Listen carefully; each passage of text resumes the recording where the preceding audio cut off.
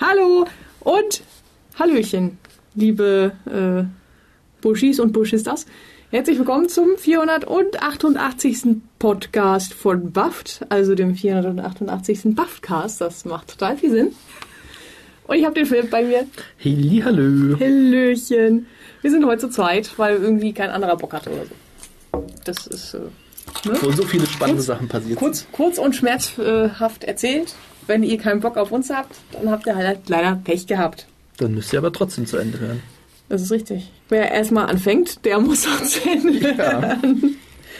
Äh, aber kann ja, kann ja an der Stelle kann ich dazu sagen, äh, wer keinen Bock auf mich hat, wird sich die nächsten zwei Wochen voll freuen, weil ich dann im Urlaub bin. Ach, solche Leute gibt es doch gar nicht.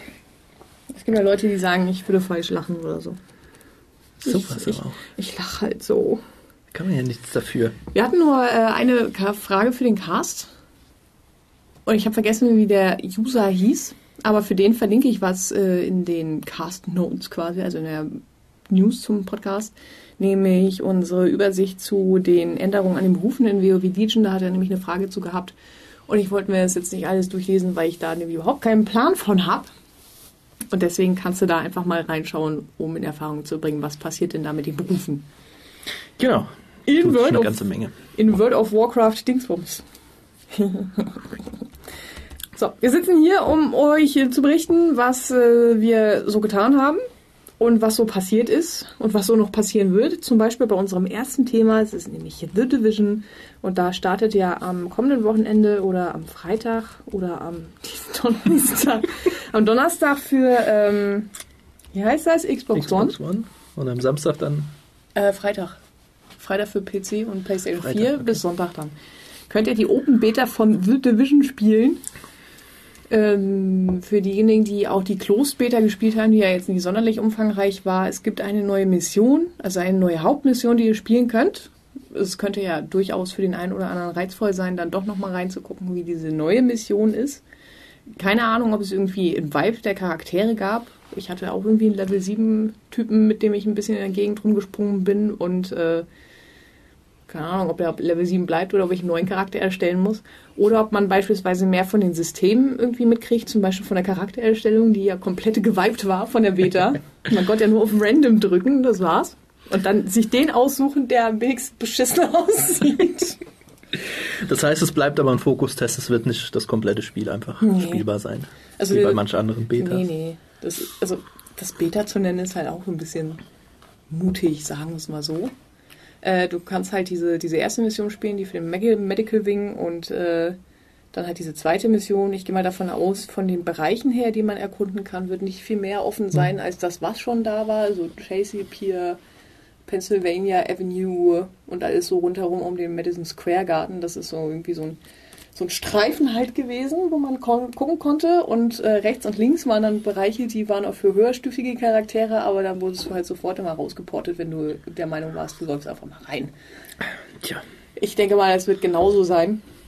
Ähm, der Download für die Daten startet, glaube ich, für die Xbox One am 16. heute schon? Also spätestens morgen gehe ich mal fast davon aus. Äh, und ihr könnt dann natürlich auch die PC und die PlayStation 4 Daten für die offene Beta nochmal runterladen, wenn ihr sie nicht eh schon von der Closed Beta oder sowas habt. Vermutlich relativ zeitig, sagen wir es mal so. Bei PlayStation 4 und der, dem Zustand, in dem sich die Server von Sony befinden, ist das natürlich immer ein bisschen Glücksspiel. Wie groß ist der Download? Wird ja ähm, wahrscheinlich auch einige Leute interessieren. Der letzte war 28 Gigabyte. Ich gehe mal davon aus, äh, der aktuelle wird auch so um die Größenverhältnisse haben. Ich bin mir tatsächlich nicht sicher, ob das Spiel die Größe hat oder ob es noch größer wird, weil wie gesagt, äh, es war ja nicht nur so, dass du irgendwie nur Innenräume oder sowas besuchen mhm. konntest, weil du konntest auch auf den Straßen rumrennen. Und dann hast du ja rechts und links halt schon Alles das andere gesehen. Gesehen. Okay. Deswegen gehe ich mal fast ein bisschen davon aus, dass das die Größe des Kleins für die Konsolen ist. Ich gehe mal davon aus, dass der auf dem PC noch ein bisschen größer ist, aber ich kenne mich da so überhaupt nicht aus. Also ist schon alles drin, nur noch gesperrt dann wahrscheinlich für die Beta. Ja. Ähm, man konnte auch schon ein Patch runterladen. Die Tage. Wenn ich mich recht entsinne. Also zumindest für meinen Beta-Client oder für Davids Beta-Client auf der Playstation äh, gab es irgendwie ein Update. Mal gucken. Da ist es vielleicht ein bisschen größer geworden. Ach, ist auch egal. es gibt, glaube ich, irgendwo Systemanforderungen, die könnt ihr nachschlagen zu der Division, falls ihr wissen wollt, wie groß es eigentlich ist und wie viel man da runterladen muss oder so. Jetzt muss ich mal kurz auslosen. Hm. Nee, muss ich doch nicht. da kann ich ja was trinken. Damit du dann musst. Mhm. Ja gut, dann sind wir durch mit The Division. Inter interessant, weil ich an der Stelle noch erwähnen, äh, wird es auch sein, ob die irgendwie das Handwerkssystem mal drin haben. Weil das war ja auch gar nicht drin. Ach, das interessiert doch in einem Shooter keinen. Oh, und äh, wer an der Open Beta mitspielt und sowieso schon weiß, dass er irgendwie The Division kaufen will, der kann im Rahmen der Open Beta, wenn er daran teilnimmt und sich quasi wahrscheinlich einmal eingeloggt hat oder so, ein Item erspielen. Ein irgendwelches, irgendein Goodie, von dem man nicht weiß, was es ist, was ihr dann bekommt, wenn das Spiel am 8. März gelauncht ist. So, jetzt aber. Schleife des Beta-Spielers. Die Schleife. Zum ins Haar stecken. Maybe. Jo, was haben wir noch? Hearthstone. Da ja in der vergangenen Woche der große World of Warcraft Legion Podcast war von der Mo.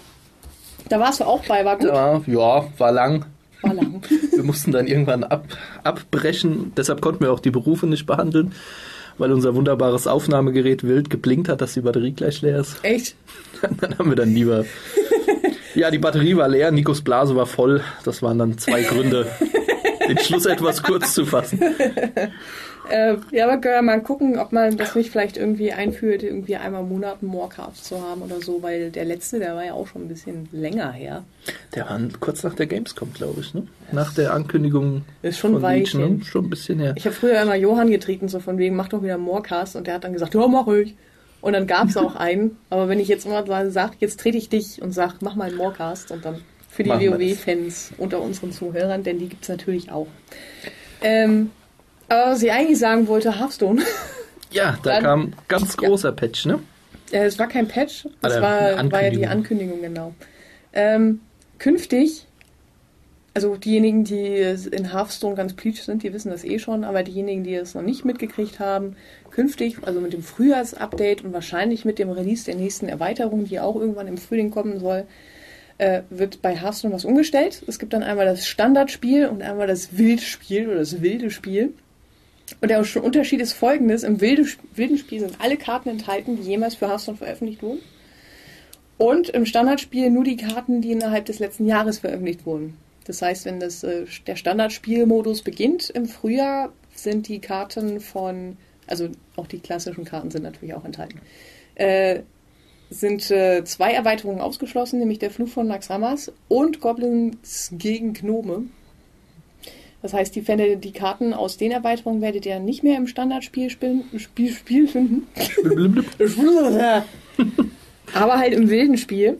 Und äh, das Ganze ist äh, darauf ausgelegt natürlich, dass es irgendwie bei Magic the Gathering so ein bisschen eine Art Balance auch reinkommt und dass das Spiel auch immer frisch bleibt und dass nicht immer die gleichen Decks gespielt werden und so ein Spaß. Wenn dir halt äh, paar Karten dann fehlen, die du dann im Standardspiel benutzen kannst. Ja, und es macht die ganze Sache vor allem auch wesentlich einsteigerfreundlicher, weil man im Standardspiel ja. halt eben nicht auf alle Karten, ich meine, jetzt geht's gerade noch so, aber in fünf, sechs Jahren, wenn Hearthstone 20 Erweiterungen hat, ja. Kann man, kann man erwarten. kann man halt nicht mehr als Anfänger überhaupt den Wust der Karten, die es schon gibt, überblicken. Man hat, ich weiß gar nicht, wie das aktuell ist, ja auch verschiedene Karten, die man, Kartenpäckchen, die man kaufen kann. Ja. Da müsste man dann auch wissen, wo ist welche Karte drin, welche muss ich kaufen, wo kriege ich was her. Das wird halt damit wesentlich übersichtlicher. Man hat, wenn ich das richtig verstanden habe, die Standardkarten, die von Anfang an im Spiel waren. Ja. Diese Klassenkarten und so weiter. Und dann halt die aus der letzten Saison, nenne ich es jetzt einfach mal, dem mhm. letzten Jahr. Was sehr viel übersichtlicher ist und was dafür sorgt, dass das Metaspiel sich halt jedes Jahr mindestens einmal rapide ändert, weil jede Menge wichtige Karten rausfallen. Ja, ich habe mit dem äh, Hearthstone Community Manager ein bisschen gequatscht. Äh, die meinten auch beispielsweise, dass der Standardspielmodus dann tatsächlich der, auch der offizielle Turniermodus ist für die ganzen Leute, die jetzt bei der BlizzCon, bei den Turnieren für die BlizzCon beispielsweise daran teilnehmen wollen, müssen sich darauf einstellen, dass sie dann halt nur noch diese Standardspielkarten zur Verfügung haben. Ähm, euch wird aber nichts weggenommen, sagen wir es mal so weil ihr könnt, es gibt den gewerteten Modus sowohl im wilden Modus als auch im Standardspiel.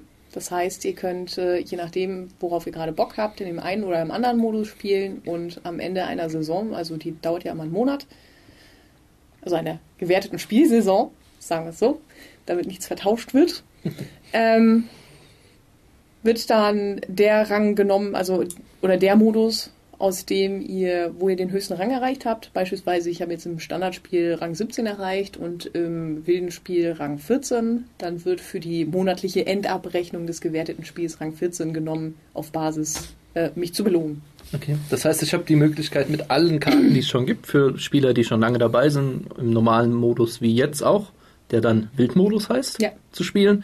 Oder ich kann mich halt auf die neuesten Karten konzentrieren. Genau. Finde ich persönlich eine gute Änderung. Also da, wo du halt Bock drauf hast, wenn du feststellst, dass du jetzt irgendwie im Standardspiel überhaupt nicht weiterkommst, weil alle Gegner irgendwie dir zu schwer sind oder so, kannst du immer noch im wilden Modus rumprobieren, ob du da irgendwie halt jetzt äh, einen höheren Rang erreichst und damit dann halt auch irgendwie eine bessere Monatsendbelohnung.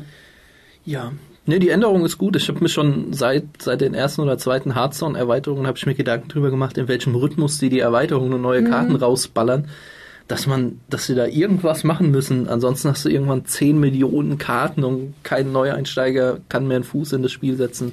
Ja. Und das ist ja dann auch nicht im Sinne des Erfinders. Die sind ja tatsächlich inzwischen so weit, dass sie vierteljährlich eine Erweiterung veröffentlichen und da, also manchmal frage ich mich, ich mich schon und ich spiele ja jetzt nicht unbedingt selten Hearthstone. Welche, welche Erweiterung war, welche Karte jetzt, wo kommt das her und was muss ich jetzt, was kaufe ich jetzt für mein überflüssiges Gold an Päckchen und äh, ja. das macht schon Sinn. So Spiele, so viel spiele ich ja gar nicht. Ich bin froh, wenn ich mir mit dem Gold die nächsten Erweiterungen immer gerade so zusammenklauben kann. Ich habe immer so einen Bonus von 3000 Gold, der liegt da, wenn die nächste Kauferweiterung kommt, also die nächste Abenteuererweiterung, so wird das dann angebrochen. Hm. Ja, so sieht das aus. Ein Hearthstone-Sparbuch quasi. Quasi. ähm, was auch noch wichtig für euch ist, da ihr könnt die Erweiterungen nicht mehr dann kaufen, die Abenteuererweiterungen beispielsweise, die dann rausfallen. Also Fluch von Naxxramas, wenn ihr nicht den ersten Flügel schon mal irgendwann gekauft habt. Wer den ersten Flügel schon mal gekauft hat, der äh, kann für Gold dann weiterhin auch die anderen Flügel kaufen und die Karten dann erspielen. Und ihr könnt auch nicht mehr die also dadurch, dass die Erweiterungen quasi aus dem Standardspiel auch rausfliegen, äh, es fliegen auch die Kartenpäckchen, glaube ich, aus dem Shop raus, also die für Goblins gegen Gnome. Und dann könnt ihr die Karten, die da drin enthalten waren, nur noch für Arkanstaub craften. Für den wilden Modus. Oder wenn ihr irgendwie so Komplettierungswünsche habt. Es macht ja auch Sinn, dass man nur die Päckchen der aktuellen Erweiterungen kaufen kann. Ja. Ansonsten wird das sehr unübersichtlich. Vor allem, äh, ich gehe mal fest davon aus, dass Leute jetzt ankommen, die vielleicht irgendwie noch nicht so genau Bescheid wissen, die sagen dann, ich möchte einen Standardmodus spielen, kaufen sich dann ein Päckchen für Goblin gegen, Goblins gegen Gnome oder so Können die Karten und können die benutzen. Karten dann nicht benutzen und denken sich dann, Zeta und Mordio, Blizzard macht hier alles, nimmt mich aus oder so. Ja, das, das ist wohl wahr. Das heißt, ihr könnt dann künftig, wenn ihr für den wilden Modus noch irgendwie einen Maxner haben wollt oder einen ähm, Lothep oder einen Kel'Thuzad oder so, könnt ihr sie dann per Arkanstab craften. Was natürlich bei den legendären Karten ein bisschen teuer wird.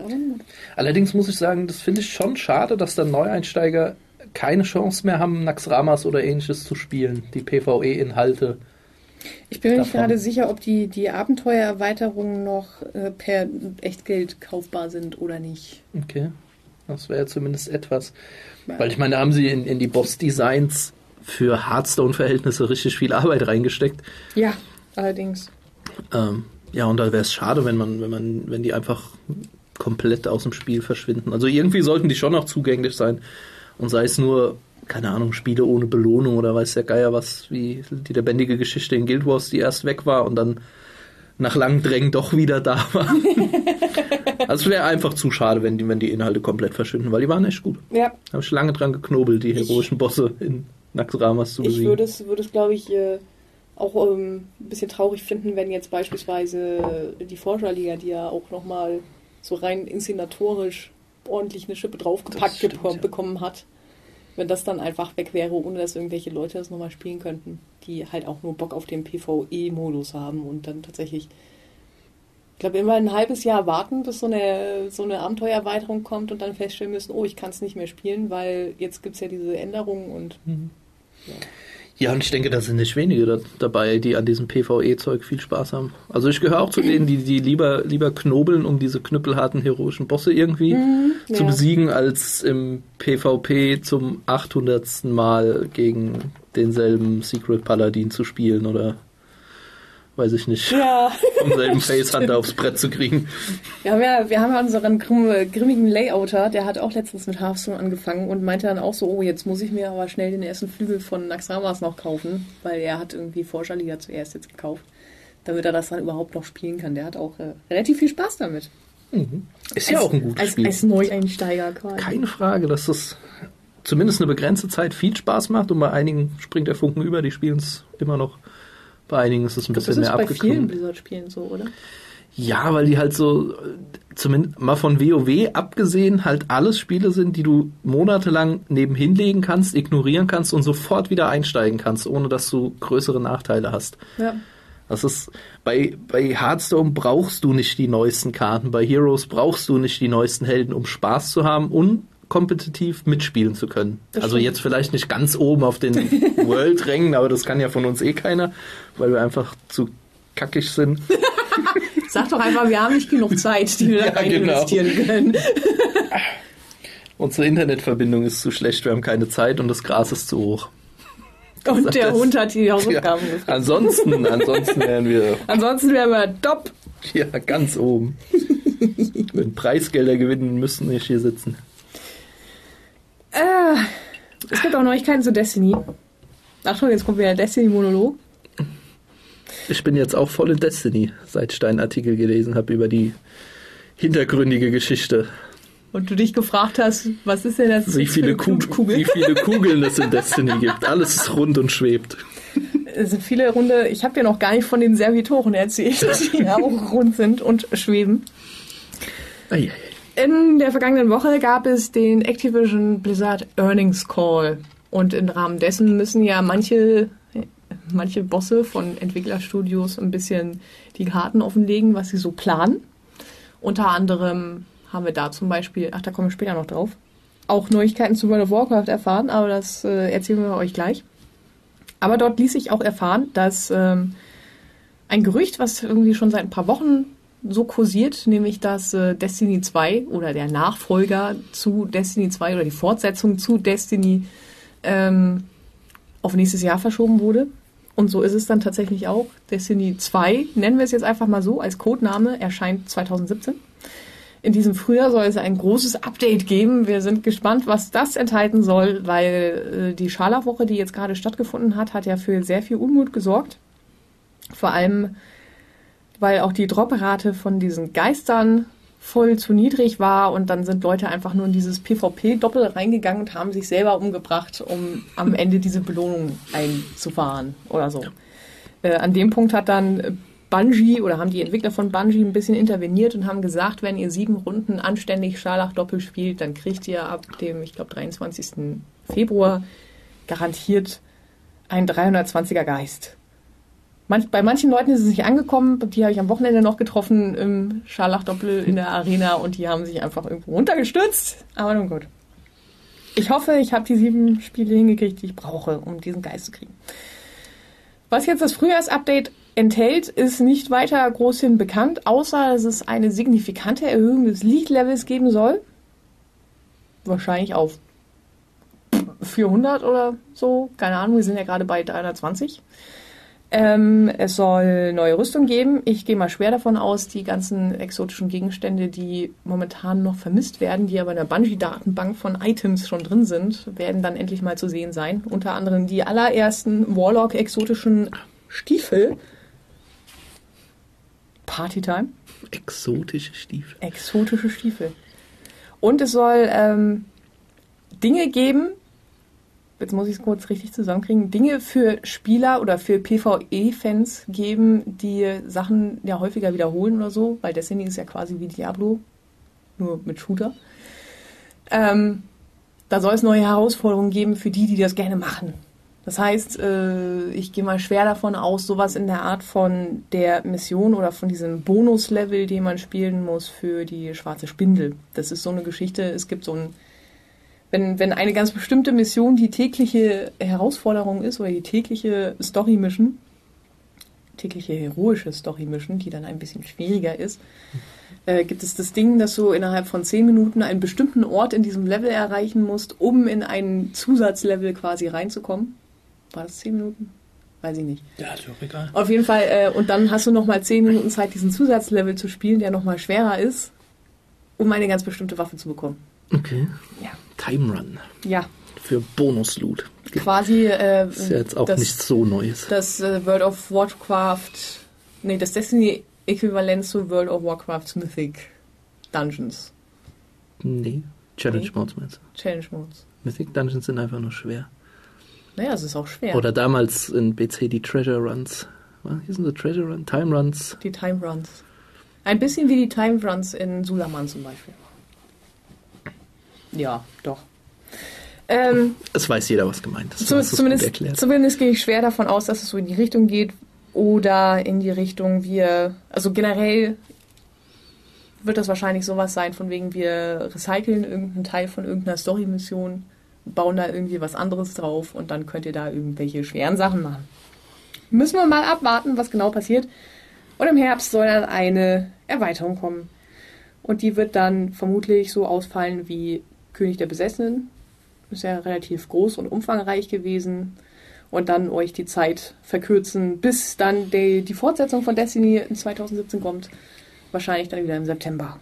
Wie ist das denn dann mit Destiny 2? Fängt man dann in dem neuen Spiel quasi wieder bei Null an? Keine Ahnung. Ist noch gar nichts tun Nee. kann. Was würdest du denn erwarten? Weil Ähm, normalerweise geht man ja bei so einem MMO, wenn, wenn stetige Progression davon dabei ist, eigentlich davon aus, dass immer weiter Erweiterungen kommen, WoW und die meisten anderen MMOs. Wenn jetzt ein neues Spiel kommt, müssen sie ja eigentlich für Neueinsteiger irgendwie wieder ein Level schaffen. Ich gehe mal schwer davon aus, dass es möglich ist, oder also diese typischen Erweiterungen und sowas haben wir ja jetzt im Rahmen der DLCs im ersten Jahr gehabt und jetzt halt mit diesen Erweiterungen, die sie im Herbst immer veröffentlichen. Und ich gehe mal schwer davon aus, dass wenn es eine Fortsetzung gibt von Destiny und wenn es dann Destiny 2 ist, nennen wir es halt einfach so, ähm, kannst du deinen Charakter vermutlich mitnehmen, spielst aber was komplett anderes. Okay. Weil es wird keinen Sinn machen, wenn du jetzt irgendwie wieder am Turm rumhängen würdest, weil da hast du halt auch in Destiny 1 rumgehangen. Und das Spiel, sagen wir, es, es wäre jetzt nicht einfach nur ein optisches Update oder sowas, weil es dann irgendwie besser aussieht, weil sie müssten tatsächlich irgendwie komplett neue, neue Inhalte bieten und dann macht es auch nicht viel Sinn. Oder beziehungsweise den Turm, den wird es vermutlich immer noch geben, aber du kommst halt nicht mehr in die Bereiche, in die du in Destiny 1 gekommen bist, sondern halt in ganz neue Sachen. Beispielsweise momentan bereist du die, das innere Sonnensystem. Wir können dir jetzt vorstellen, dass du das äußere Sonnensystem dann bereist. Aber Okay. keine Ahnung, es ist nichts dazu bekannt. Und Destiny 1 müsste ja dann eigentlich abgeschaltet werden. So beides parallel spielen macht ja selbst für die Kreativität von Spielentwicklern dann wenig Sinn. Ich gehe mal schwer davon aus, dass sie das dann, dann lassen sie die Server vielleicht dann noch irgendwie ein Jahr laufen oder so und das war es dann aber auch, dass Okay. ja dann halt auch keine Updates mehr passieren. Aber das, was ich mir wünschen würde, wäre, wenn es tatsächlich so eine einfache äh, Erweiterung wird, die dann halt dran gepappt wird, dass du tatsächlich noch die ganzen alten Inhalte hast und die auch immer noch benutzt für diverse Sachen. Also dass quasi Und Destiny dann halt neues 1 Zeug ein. Inhalts, Inhaltsteil von Destiny 2 wird. Ja. Dass die Spieler, die mit Destiny 2 anfangen, auf demselben Level anfangen wie jemand, der Destiny 1 durchgespielt hat, aber noch irgendwie zurückreisen können und sich das ein bisschen angucken. Quasi. Ja, mal schauen. Okay. Wir sind gespannt. Ja, Wird auf jeden Fall interessant, wie sie es wie es lösen. Ich bin immer gespannt wie ein Fitzebogen, was Destiny angeht. Ich fand es lustig, da hat irgendjemand am Wochenende. Ach, Win war das. Ja, natürlich. Win hat unter meinen einen Artikel geschrieben. Oder die Kolumne zur Scharlachwoche. So von wegen das, Leid, das Jahr des Leidens für Suse, die den Destiny-Fanboy oder sowas. so, man leidet immer ein bisschen, wenn man Fan von Destiny ist. Aber Destiny ist trotzdem immer noch ein gutes Spiel. Das muss man halt dazu sehen. Und in World of Warcraft würde ich jetzt auch nichts anderes machen, als die Raids nochmal 35 Mal abfahren. Ja. So in etwa. So muss man das sehen. Lass uns reden über ein anderes Spiel, das auch ein bisschen Sci-Fi ist. Overwatch nämlich. Da, da kann man jetzt wieder Beta spielen, habe ich ja, gehört. letzte Woche pünktlich nach dem Morecast abends. Ich glaube, es war abends dann nach dem Morecast. Ja. Ging die Beta wieder hoch und seitdem ist wieder die halbe Redaktion nur sich am gegenseitig auf die Rübe geben. Hast Spaß? Unglaublich viel Spaß wir hatten ja in der ersten Beta-Phase, die war ja noch relativ klein, also nicht von den Spielern her, sondern vom Umfang des Spiels. Mhm. Wir haben mehrfach diskutiert und auch drüber geschrieben, was da noch fehlt, damit das Ding ein komplettes Spiel wird. Und ich würde behaupten, alles, was jeder Punkt, den wir aufgezählt haben, ist, oder fast jeder Punkt ist jetzt da. Man hat ein Fortschrittssystem, in dem man sich Level hochspielen kann. Man wird nicht stärker, sondern man kriegt einfach nur eine höhere Zahl. Das heißt, jeder andere sieht, oh, der hat mehr Erfahrung auf dem Buckel. Der hat 35 Mal mehr gespielt. Genau, der hat 3000 Millionen Stunden schon da drin versenkt. Was trotzdem motivierend ist. Und ja, man muss auch nicht unbedingt hervorragend spielen, um hochzuleveln. Der, das, der meiste Fakt geht einfach über, über erfolgreich erledigte Spiele. Das heißt, man ist auch eher gezwungen dabei zu bleiben, wenn man das Spiel vorher beendet, also mhm. vorher rausgeht, dann gibt es halt keine EP. Halt, ja. Ja, hast man halt gelitten. Deshalb spielt man auch ein Spiel, was fast oder was mehr oder weniger sicher verloren ist, trotzdem zu Ende. Also quasi wie in Heroes of the Storm, oder? Ja. Ja. Da weiß ich nicht, da habe ich nie Ladder gespielt, aber ich glaube schon, ja. Also da hast du ja auch ein Account-Level und jedes Mal, wenn du was fertig gespielt hast oder sowas, kriegst du halt Erfahrung. Genau, du kriegst natürlich bei Overwatch, du kriegst Bonus für, für gewonnenes Spiel oder für Medaillen, wenn du die meisten Kills gemacht hast und so weiter. Mhm. Aber die Boni sind so klein im Verhältnis zu denen, die du kriegst, wenn du ein 20-Minuten-Match fertig gespielt hast, dass es ja, sie kaum ins Gewicht fallen. Mhm. Es sind zur Individualisierung jede Menge Skins reingekommen. Damit hatten wir ja schon gerechnet. Spray-Logos, wie sie in allen Shootern irgendwie mittlerweile drin sein müssen, warum auch immer. dass man lustige Bildchen an die Wand sprühen kann. Yeah. Sind, sind hunderte drin. Ähm, Siegesposen hat uns ein bisschen überrascht. Wer Overwatch kennt, weiß, dass am Ende das Siegerteam schön nochmal in Reihe und Glied da steht und mhm. nochmal posen darf. Da kann man sich mittlerweile auch aussuchen, wie sein Held da posiert. Echt? Also verschiedene, verschiedene Stellungen mit dem Gewehr zielend oder locker lässig auf dem Boden sitzend oder so. Und auch die Highlight-Intros. Das heißt, am Ende des Spiels wird ein Spieler auserkoren, der das Highlight des Games gemacht hat, ja. die beste Aktion. Und die wird immer von einem kurzen Video eingeführt und das kann man sich mittlerweile auch aussuchen für seinen Helden. es, es, so viel Gimmick -Kram. Ja, wenn man guckt, wie viel Liebe und wie viel Spaß die Entwickler, glaube ich, hatten, als sie die, die Skins angelegt haben. Man hat, klar, man hat von jedem Held irgendwie vier, fünf, sechs verschiedene Farbgebungen, wie es halt Standard ist. Mhm. Aber es sind, sind auch so viele liebevolle Skins dabei, zum Beispiel, okay, das ist jetzt nicht das beste Beispiel für liebevoll, aber Reinhard, der, der deutsche Tank, der aus Stuttgart kommt nach der Lore von Overwatch, hat halt einen Bundeswehr-Skin, oh. wo sein Panzer in Bundeswehr-Tarnfarben angemalt ist mit einem großen Deutschlandadler auf der Brust. Sieht, okay. sieht halt super genial aus. Oder unser Reaper hat verschiedene Mariachi-Outfits, wo er mit der Gitarre auf dem Rücken rumläuft. Ach, La lauter, lauter solche Sachen. Winston, der Affe, hat so ein Dschungel-Outfit mit dem typischen 70er, 70er Jahre Dschungelhut. Hm. Da, da, haben, die, haben die Entwickler echt viel Liebe reingesteckt. Ja. Sowas können sie, ja. Ja, wunderbar. Also wenn du dir auch allein die, die Hero-Skin anschaust oder sowas, die sie da reinschmeißen, da denkst du auch manchmal. Ja, und der, der Humor der Humor, der dabei zutage kommt, erinnert tatsächlich an Overwatch oder beziehungsweise andersrum. Ja. Also man, man merkt, dass da dieselben selben Designerköpfe in den Meetings sitzen und diskutieren, wie sie es machen können. ja, diese ganzen Skins kann man nicht kaufen. Es, gibt, es gibt noch keinen Shop, es kommt ein Shop, aber man kann nicht sagen, ich hätte gerne den Skin, hier sind 10 Euro, viel Spaß. Mhm.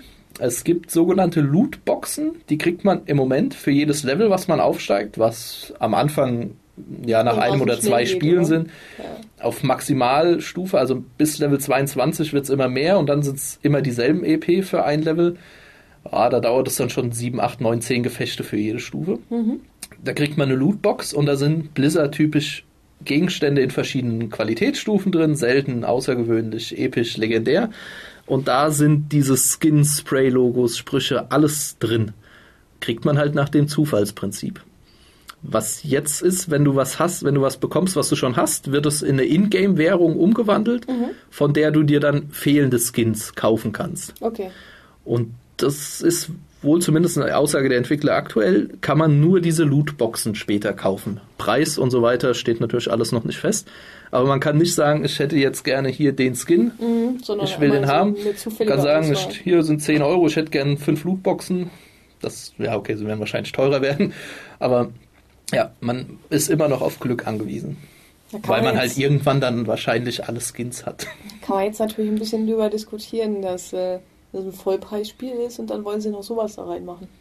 Ja, es sind halt nur kosmetische Sachen. Mhm. Also es bietet keinerlei spielerischen Vorteil. Es, Wer will, der greift zu. Ist, ja, es ist halt die elendige Diskussion, die man immer hat, wenn, wenn irgendwas einen Ingame-Shop hat. Was darf da rein? Wie viel ja. darf es kosten? Macht es überhaupt Sinn? Ist es moralisch vertretbar, wenn man wie in Overwatch mindestens 40 Euro ausgibt, um das Spiel zu haben, beziehungsweise 60 bei PlayStation und Xbox? Ja, ich kann jeden verstehen, der sagt, ich hätte dafür gerne alle Inhalte. Ich finde es doof, dass es das noch gibt.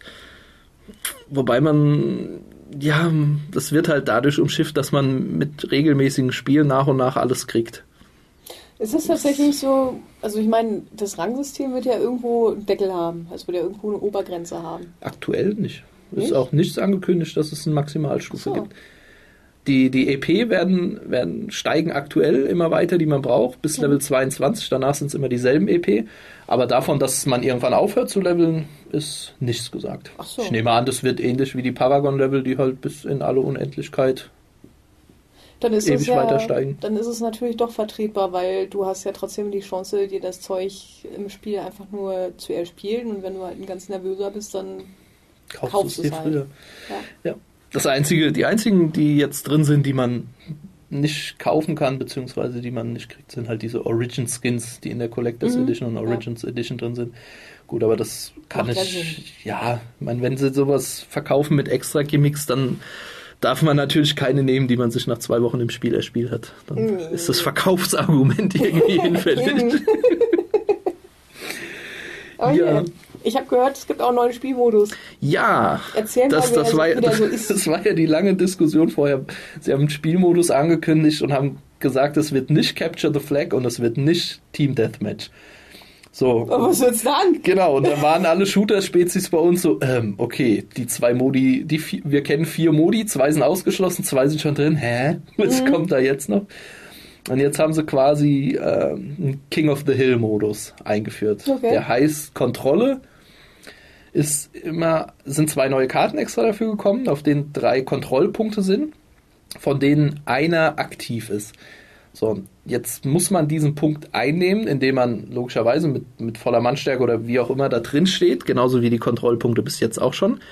Dann wird der Punkt innerhalb von drei, vier, fünf Sekunden fürs eigene Team eingenommen mhm. und dann zählt ein Zähler hoch bis 100 Prozent. Und wenn die 100 Prozent erreicht sind, dann ist diese Runde gewonnen. Okay. Wenn das gegnerische Team einen vom Punkt vertreibt und capturet den Punkt für sich selber, dann zählt den ihr Zähler hoch. Mhm. Bis der Erste, der 100 Prozent hat, hat gewonnen. Macht ja Sinn. Und das Ganze dann im Best of Three, das heißt, also zwei Siege muss man einfahren, dann ist das, also zwei Runden muss man gewinnen, dann ist das Match gewonnen. Mhm. Ja, etwas kompliziert.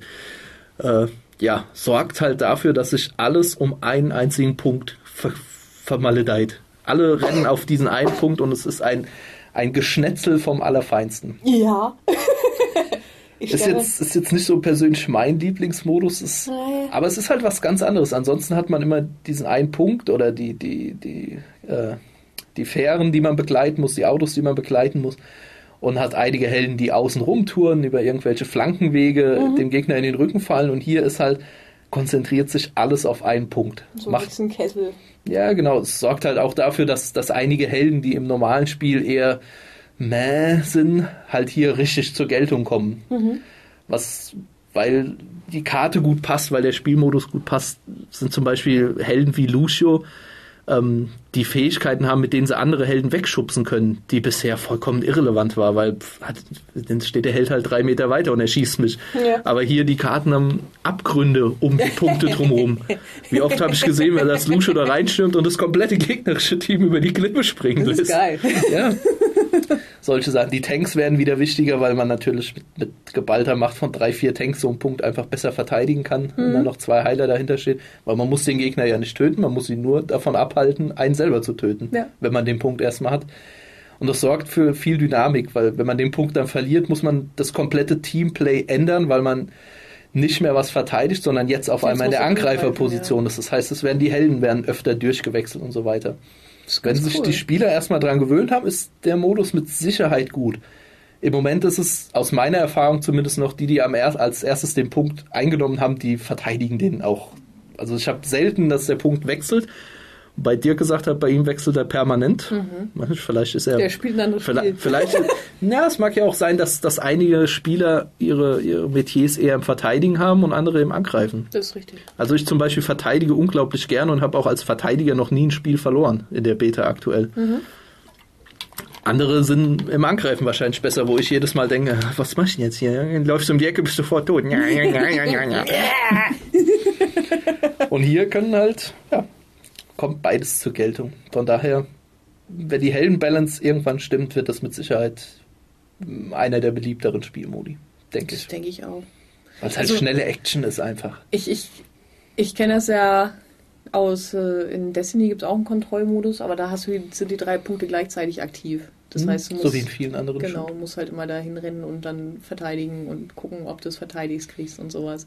Das hat natürlich äh, ein bisschen andere Dynamik tatsächlich, als es ist nur ein Punkt aktiv. Ja, das hatten auch viele für, für Overwatch erwartet oder ärgern sich, dass es nicht so ist. Allerdings bin ich der Meinung, mit mehreren Punkten bei einem Sechs-Mann-Team, was halt ein Team-Shooter ist, wo die Teamarbeit, das Zusammenarbeit Ja, wesentlich ja. wichtiger ist als der einzelne Skill, wäre es fatal, wenn sich das Team aufteilen müsste. Ja, was in, in, in, in Spielen mit eingespielten Teams vielleicht noch gut gehen würde, wird in keinem Zufallsgefecht der Welt funktionieren. Mhm. Da stehen dann irgendwie zwei Tanks gegen einen Heiler und einen DD und dann, nee, das äh, geht der Team, Teamfaktor irgendwie verloren, wenn du es Ja. aufteilen musst. Das Von stimmt. daher, so ist es schon gut so, So denke ich. Gut. Gibt es sonst noch was Neues? Ähm, jetzt habe ich so lange schwadroniert. Was haben wir denn Neues? Äh, Oh, so lange ist das noch gar nicht. ach, die Helden wurden angepasst, klar. Balancing hier, Balancing da, Balancing kaputt gemacht. Was? Ja, sie haben zwei der beliebtesten Helden in der ersten Beta-Phase, Bastion und Torbjörn, haben sie massiv überarbeitet, weil sie in der ersten Beta-Phase für Einsteiger zu übermächtig schienen. Also gegen, ich sag's mal so, wenn man diesen, wenn man einen von den beiden Helden gespielt hat, hat man eine Anfängergruppe im Alleingang zerlegt. Und gegen eine gute Truppe hatte man selber keine Chance. Deshalb haben sie Helden massiv überarbeitet und jetzt, der Stand jetzt ist, dass die zwei, wenn sie zusammenarbeiten als Verteidigerteam, quasi nicht zu knacken sind. Torbjörn stellt Türme auf, die jeden Gegner in Reichweite instant ins Ziel nehmen, also ohne Zielzeit und sofort unter Feuer nehmen. Echt? Und Bastion kann in Sekundenschnelle jeden Feind töten. War vorher dadurch eingeschränkt, dass er in seiner Geschützkonfiguration nur nach vorne schießen konnte mit so einem 180 Grad oder 160 Grad Drehmodus. Kann sich jetzt in alle Richtungen drehen und hat eine unglaubliche Panzerung, kann sich innerhalb von vier Sekunden von 0 auf 100 hochheilen. Und das ohne Cooldown, also sobald er nicht unter Feuer ist, heilt er sich einfach wieder hoch. Das ist die zwei, wenn die zwei zusammenarbeiten und dann vielleicht noch einen Tank haben, wie ein Reinhard, der sie mit ihrem Schild beschützt, dann nee, der ist, ist, ist aus. ist das, wenn die zwei echt schlecht spielen und das Angreiferteam spielt echt gut, dann haben sie eine Chance. Aber im Normalfall sind die zwei nicht mehr zu knacken, wenn sie gut spielen. Und ja, da ist in der Community im Moment der Ärger ein bisschen groß Das glaube ich. weil es halt mehr oder weniger das Gegenteil war dessen, was sie wollen, wollten. Es führt, es führt auch vor allem Torbjörn führt halt mit seinen Türmen zu witzigen Situationen. Ich habe vorhin erwähnt, am Ende gibt's das Highlight des Spiels. Ja. Und das ist bei Torbjörn in der Regel der Turm, weil der halt viel Schaden macht, alles trifft und dadurch viele Kills generiert. Die Kamera bei Highlight des Spiels bleibt aber immer auf Torbjörn. Das heißt, ganz oft siehst du dann einen Torbjörn, der gerade vom, vom Spawn zum Kampf läuft oder tot in der Ecke liegt, während er das Highlight des Spiels durchmacht, weil der Turm bleibt ja stehen, der Turm feuert weiter. Super. Ja, führte sogar dazu, dass ein amerikanischer User eine Petition an Blizzard gemacht hat, dass aus dem Highlight des Spiels, dass es bitte umbenannt wird in Torbjörn of the Game. Schöne Idee. Ja. Ja, Balancing Skins, neuer Spielmodus. Habe ich irgendwas vergessen? Bestimmt. Mehr fällt mir jetzt gerade aber nicht ein. Ach. Die Menüs sind alle überarbeitet worden, sehen jetzt schöner aus, funktionieren intuitiver. Der Spielmodus, man kann mittlerweile, konnte man in der ersten Alpha, in der ersten Beta-Phase schon, aber jetzt etwas ausgefeilter, sich eigene Matches erstellen. Mhm. Klar, das ging vorher auch. Kann man Freunde einladen und mit gab- denen spielen. da, da ging es immer, achso, nee, eigene Matches erinnert mich nur an diese, diese Bot-Geschichte, wo du allein gegen sechs Bots gespielt hast. Oder so. Ja, genau, das kannst du jetzt, kannst du die Anzahl der Bots zum Beispiel einstellen, Oh. dass du nicht alleine gegen sechs bist. Clever. Im Moment leider nur von vier, also im Moment gibt's nur vier Helden, die man als Bots einstellen kann. Wahrscheinlich haben sie für mehr noch keine KI basteln können. Aber man merkt schon, wo Blizzard hin will, nämlich in Richtung kompetitives Tournament Play. E-Sports. Auf Natürlich. gut Deutsch. Man kann nämlich diese Gefechte bis aufs Kleinste zerlegen und einstellen, wie man will. Echt? Man kann Helden rest, also man kann Helden verbieten, man kann Heldenrotationen ändern und dass man so und so oft nur noch wechseln darf, nur noch zwischen denen und denen. Man kann die Karten einstellen, klar. Man kann Heilungen, Aufladezeiten von Ultimates, Schaden von Einzelnen hoch und runter regeln, wie man will. Echt? Also es sind kaum Grenzen gesetzt. Sehr cool. Und ja, also das ist ein eindeutiges Zeichen, dass die Richtung E-Sport wollen und den Leuten, den, den Veranstaltern die Möglichkeit ge- zu geben, keine Ahnung, unser Metagame funktioniert im Moment ein bisschen schwach, ihr dürft den Helden rausstreichen, zum Beispiel. Oder Oder ihr wollt ein actionreicheres Turnier, dreht die Ultimate-Rate um 200% hoch, damit die Gegner sich, damit die Spieler sich nur noch mit Ultimates bekämpfen. Oder wie, wie bei MOBAs halt so Bands halt tatsächlich reinschmeißen, dass das eine Team irgendwie einen bestimmten Helden bandt, dass das andere Team dann nicht nehmen kann und so. Ja, zum Beispiel. Also der, der Otto-Normalspieler wird diese Funktion in den seltensten Fällen brauchen. Ja. Außer vielleicht, um mehr Action zu haben, irgendwie die Ultimate-Rate hoch, den Schaden hoch oder sowas. Aber für Tournaments, also für Turniere wird das sehr wichtig. Ja, klingt interessant. Bin ich gespannt, wie das so abgeht mit Overwatch E-Sport. Weil Ja. auf E-Sport legen sie ja sowieso schon seit ein paar Jahren extrem mit, Wert. Mit Heroes of the Storm haben sie versucht, groß einzusteigen, haben es nicht so ganz Bei geschafft. Die, hat es besser funktioniert. ja, bei Heroes of the Storm haben sie es halt nicht geschafft, die Platzhirschen, die schon, die Platzhirsche, die schon vorher da waren, zu verdrängen. Ja. Meine, da ist die eingefleischte LOL-Gemeinde aus, keine Ahnung, 3000 Milliarden Spielern. Ah, Und die Hälfte davon sind kriegt man, die kriegt man nicht zu Heroes of the Storm. Bei Hearthstone haben sie es einfach dadurch geschafft, dass das Spiel sehr zugänglich ist. Jeder versteht, was da vor sich geht, im Gegensatz zu einem MOBA oder zu einem StarCraft 2, was so schnell ist, dass du beim Zuschauen, also ich weiß, wie MOBAs funktionieren und ich weiß, wie Heroes of the Storm funktioniert, aber ich guck's nicht im E-Sport-Bereich, weil Dieses das mir einfach viel zu anstrengend ist, ja. das hat mit Hearthstone halt wesentlich besser funktioniert. Und bei Overwatch Bin ich gespannt. bin, ich, bin ich auch gespannt, wie es funktionieren wird. Es wird wahrscheinlich, ja, im Shooter-Bereich gibt es halt gibt's CSGO, also Counter-Strike, Mhm. was ziemlich groß ist. Und danach bricht es schon so ein bisschen ab. Danach ist nicht viel. Und Team-Shooter wie Overwatch oder noch äh, Team Fortress 2 sind bisher im E-Sport wenig vertreten. Also da ist eine Lücke, in die sie reinschießen können. Müssen sich halt trauen, das dementsprechende Budget in die Hand zu nehmen, Turniere zu organisieren, das ordentlich zu pushen und dann könnte das auch funktionieren. Ich bin gespannt. Vor allem so auf so, wobei Spectator-Modus gibt es schon, oder? Spectator-Modus ist schon drin, aber der ist, würde ich behaupten, zum Zuschauen nicht so schön wie, wie eine Ego-Perspektive, weil es sehr viel Gewusel ist. Die Helden hüpfen und Mhm. kreuz und quer und dadurch, dass die Karten jetzt auch keine Wüstenlandschaften sind, sondern sehr verschachtelt sind, kriegt man in dem Modus, also im Spectator-Modus, wahrscheinlich die Hälfte nicht mit. Das ist so. Vielleicht gibt es einige, die diesen Spectator-Flugmodus so gut drauf haben wie ein Kameramann, dass sie das Gefecht gut, gut verfolgen kann. Will ich keinem unterstellen, das geht bestimmt, aber ich denke, aus der Ego-Perspektive ist es einfach schöner. Man auch sieht, was, was die Spieler sehen und wie sie sich verstecken und ja, denke ich jetzt einfach mal. Ja. Blizzard ist ja bekannt dafür, dass sie klotzen statt kleckern und da mit Sicherheit ordentlich was reinbuttern werden. Butter. Ich gehe auch davon aus, dass Overwatch sich verkauft wie geschnitten Brot. Möchtest du die noch Sache mehr natürlich Essens. Essensallegorien hier verteilen oder sowas, damit mein Magen gleich knurrt? Müssen wir oben wieder Fronis Schrank plündern. Nein, ich gehe da nicht ran. Der ist verteufelt.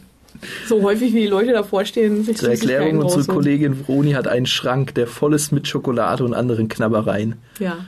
Zu, so zur allgemeinen Verfügung aller Kollegen. und immer wieder stehen Leute auf und wandern Du zu hörst, diesem du Schrank. hörst mal so das Klappen von dem Schrank. Dann guckst du so, ah, Nico. Wer ist diesmal? Ah, Dirk. Ah, Dirk schon wieder.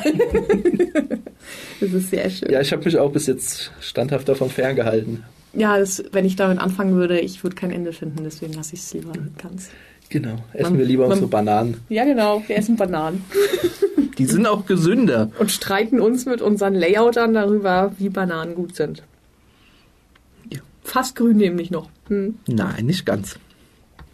Mit neu- einem Hauch grün. Ich, ja, das geht. Ich habe die Tage eine, eine fast also eine noch ziemlich grüne gegessen, die war recht Die- bitter. Die, die, die haben dann auch so eine komische Konsistenz. Ja, ja, das ging, aber die war noch so ein bisschen bitter. Am nächsten Tag habe ich eine von demselben Bündel gegessen, die war dann perfekt. Und dann habe ich am selben Tag die anderen drei auch noch gegessen, bevor sie zu reif sind. Ich habe letzte Woche Bananen gekauft und die liegen jetzt immer noch rum, weil sie immer noch zu grün sind. Vielleicht sollte ich sie einfach mal schälen und probieren, weil es kann ja sein, dass irgendwo, keine Ahnung, Wunderbanane ist. Eine Wunderbanane! Lieber etwas warten, als dass sie bitter ist. Ja. Es wird kann hoch. ich, kann ich auch nur empfehlen, wenn sie zu reif ist, haut sie einfach in die Pfanne mit Honig und Zimt. Schmeckt sehr gut. Ich mache sie halt ins Müsli. Funktioniert aber auch. Ja, aber ich esse kein Müsli. Ja, So, kommen wir mal weiter weg von Essens. ja Vergleichen. genau. SWTOR gab es eine Neuigkeit. Ähm, in der vergangenen Woche wurde nämlich Anarchie im Paradies freigeschaltet. Das ist, ist das zehnte Kapitel von Knights of the Fallen Empire. Und ich dachte nur, ich sage das mal eben für die Leute, die es noch nicht wissen. Äh, mit dem nächsten Kapitel, dem 11., ist dann wahrscheinlich äh, Anfang März zu rechnen. Da gibt es aber noch kein genaues Datum zu. Und ich werde in meinem Urlaub vielleicht mal reinschauen. Damit ich vielleicht auch mal irgendwie ein bisschen mitreden kann, wenn Sam mal wieder da ist und sagt, oh, es wird Tor. Und ich sag so, ja, ich bin Level 40. Ja, ist ja jetzt Zeit. Ja. Sonst noch was geplant für den Urlaub, außer SW-Tour? ähm, wir müssen uns noch entscheiden, ob wir Witcher 3 spielen wollen oder Fallout 4. Wir wollen äh, Bloodborne noch fertig machen, weil wir sind ungefähr 10 Stunden lang an äh, fucking, wie heißt er? Shit, Lud Ludwig geweibt. Shit, Ludwig. an Ludwig geweibt. Das darf ich an dieser Stelle mal äh, offiziell bekannt geben. Und äh, dann haben wir es erstmal sein lassen und jetzt liegt das aber auch schon so seit zwei Monaten wieder rum. Wir müssten eigentlich wieder spielen, damit man nicht wieder komplett rauskommt. Und, Also ihr macht reinen Zockurlaub zu Hause. ja. Also Entspannen. mit, mit Zahnarztbesuch zwischendurch und so, weil wir ja gerne Arzt Gilt, gilt das eigentlich als Weiterbildungsmaßnahme? zu Hause die ganzen Spiele Oh, weiterspielen. Soll, solltest du mal bei Dirk beantragen. So habe ich das noch nicht betrachtet. Ja. Möglicherweise. Hm. Und ich muss natürlich äh, meinen, damit kommen wir zum nächsten Thema, mein World of Warcraft und Pandarenpriester spielen, weil ich irgendwie, ich hatte es am Wochenende, ich bin aufgewacht und habe mir gedacht, ich möchte gerne World of Warcraft spielen. Und sowas habe ich seit Jahren nicht gehabt. Wem passiert das nicht ab und zu sonntagsmorgen? Das habe ich, das habe ich seit Jahren nicht gehabt. Ich habe tatsächlich World of Warcraft gespielt, mit meinem Schamanen 5 Level gemacht. Das war sehr schön. Und dann hatte ich äh, irgendwie gestern die Eingabe, als ich wegen Liebe liegt in der Luft ein bisschen rumgeguckt habe mit meinem Pandarenmönch, äh, ob es irgendwas Neues gibt, was es übrigens nicht gibt. Also was Neues.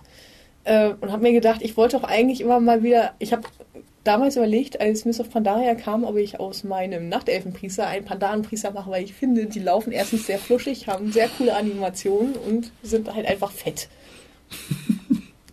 Auf mehrere Art und Weisen. Und äh, dann habe ich mir gedacht, ich erstelle mir einen Pandarenpriester und habe den jetzt gestern irgendwie auf Level 13 gespielt und äh, freue mich schon, wenn ich mit denen ein paar Dungeons besuchen kann. Einfach so. Ich weiß auch nicht wieso. Ich, ich könnte eigentlich so viele andere Sachen machen mit meinem Haupthelden. Äh, beispielsweise mal Nahkampf fertig spielen oder so, aber äh, habe ich keinen Bock drauf. Deswegen renne ich lieber mit einem pelzigen Getier durch die Gegend. Das ist doch, ist doch schön. Ich sag dir immer, ich bin, ich bin schwerer Verfechter davon. Jeder sollte World of Warcraft genau so spielen, wie es ihm Spaß macht. Das stimmt. Nicht diese el elendigen Diskussionen und Restriktionen, ja, aber man muss ja raiden oder PvP ist viel besser oder und wenn einer Spaß daran hat, zwölf Stunden am Teich zu stehen und zu fischen und zwischendrin Archäologie zu machen, so wie Maria zum Beispiel, dann soll sie das machen. Ich, ich finde es schön. Ich Ja. freue mich über jeden Spieler, der in meinem Lieblingsspiel auf gut Deutsch äh, seinen Spaß hat. Jeder Mitspieler ist ein guter Mitspieler und deshalb soll das Spiel jeder so genießen, wie er es am schönsten findet. Können wir dich zitieren? Dürft ihr mich gerne zitieren. Ihr könnt Philipp gerne zitieren, dass er äh, gerade sehr schöne Worte gesagt hat. Möchte ich mal betonen. Tja. Aber jeder, der nicht rated, ist ein Kacknoob. So.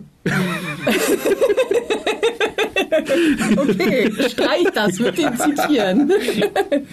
er hat Nein. nicht so schöne Worte gesagt. Nein, Okay. Ähm, wir hatten ja einmal vorhin schon das erwähnt, es gab diesen Activision Blizzard Earnings Call und Blizzard gehört natürlich zu Activision Blizzard. Macht Sinn? Könnte man anhand des Namens fast vermuten. Ja, und da hieß es zu World of Warcraft, sie geben ja keine Abozahlen mehr heraus. Ähm, weil es gibt ja andere Merkmale, an denen man den Erfolg dieses Online-Rollenspiels messen könnte. Auf jeden Fall hieß es da, dass die Spielerzahl wohl immer noch gut sein soll. Oder was war das? Höher als gute Spieleraktivität oder so. Keine Haben Sie Ahnung. nicht awesome gesagt? Ich hab's Normalerweise sagen Sie doch bei jedem Satz ist awesome. bestimmt total awesome. Ich habe es ich hab's mir nicht angehört, ich habe mir nur das äh, Slide angeschaut und äh, ein bisschen im Internet recherchiert und mir gedacht, nur gut, wenn ihr halt keine Abozahlen mehr frei reingeben wollt, dann wollt ihr halt keine mehr reingeben. Äh, was in dem Call tatsächlich meiner Meinung nach auch das Wichtigste war, dass äh, das Wichtigste war, Komma, war das, Komma, ähm, World of Warcraft Legion nach dem Filmrelease erscheint. Genau. Also von Warcraft The Beginning. Und wenn ihr euch recht entsinnt, erscheint Warcraft The Beginning Ende Mai bei uns hier in Europa und am 10. Juni in den USA in den Kinos. Wir gehen mal schwer davon aus, dass mit nach dem Warcraft-Release gemeint ist, nach dem US-amerikanischen Warcraft-Release. Sollte man davon ausgehen, ja. Das heißt, ihr könnt mit World of Warcraft Legion irgendwann zwischen dem 11.06. und dem 21.09. rechnen. Weil da ist der späteste Release-Termin. Sie Genau, weil sonst fängt dann nämlich haben. der Herbst an und sie haben ja gesagt, irgendwie äh, Sommer und so. Genau, müssen. Letzter Termin muss ja vorher schon feststehen. Das heißt, äh, so, so Prognosen, die ich in der Vergangenheit angestellt habe, so von wegen, oh, Mai oder so, trifft nicht mehr ganz zu. Äh, irgendwann zwischen Juni, also entweder im Juni, im Juli, im August oder halt im September kommt dann World of Warcraft Legion raus. Und damit ist dann auch Warlords of Draenor alt genug. Könnte man sagen. Ist jetzt schon alt genug. Wobei ich, wenn, wenn wir da mal ins Reich der Spekulatius abdriften, jetzt. Du redest schon wieder über Essen, Ich habe Alter. ein bisschen Hunger. Gehe ich jetzt tatsächlich davon aus, dass es echt September wird, Echt? bis das Add-on rauskommt. Ja. Noch eine andere News, die die Woche kam, die du jetzt, glaube ich, hier noch nicht auf dem Zettel hast, Wahrscheinlich nicht. War die Spekulation, beziehungsweise ich habe die News jetzt nicht gelesen oder geschrieben, ähm, dass es zu den Kinotickets von World of Warcraft Ach stimmt, das war kurz tatsächlich vorher. äh, einen Monat gratis Spielzeit für WoW geben könnte und die, äh, das Grundspiel und die Erweiterung bis WoD mit dazu. Ja. Was ja so theoretisch Sinn machen würde, weil Blizzard will ja ohne Zweifel mit dem Film auch Leute ins Spiel locken. Also gibt man denen das Spiel, was im Moment, keine Ahnung, 5 Euro kostet, 10 Euro. Ich glaube, so eine oder Battle Chest ist meistens 15 oder 20 Euro. ja, so. gibt man das den Leuten halt dazu. Die finden den, äh, also in, in der Intention von Blizzard, finden die den Film geil, gucken sich das Spiel an, laden sich runter, fangen an zu spielen.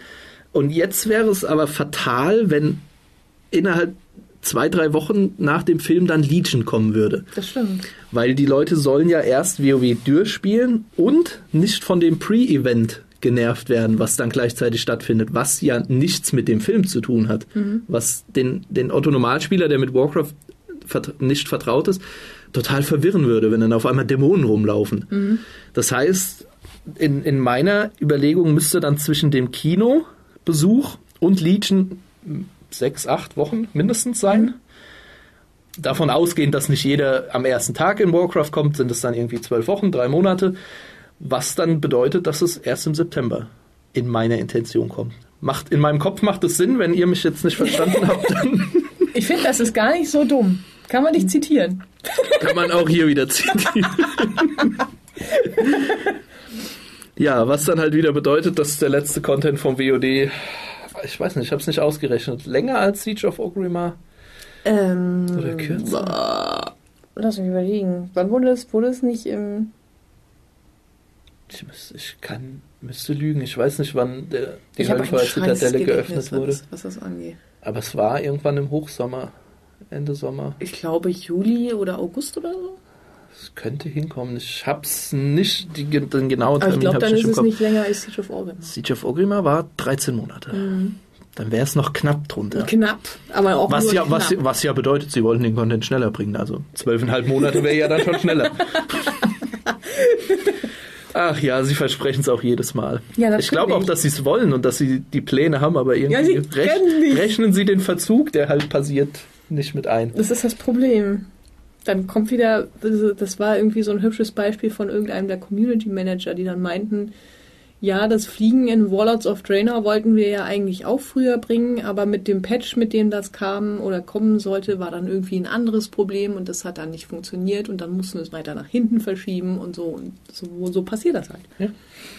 Ist ja jeder, jeder Arbeitnehmer oder eigentlich nicht jeder Arbeitnehmer, jeder kennt das ja. Man, man macht sich irgendeinen Plan, den man relativ straff organisiert und sobald das erste Unvorhergesehene passiert, funktioniert es nicht mehr.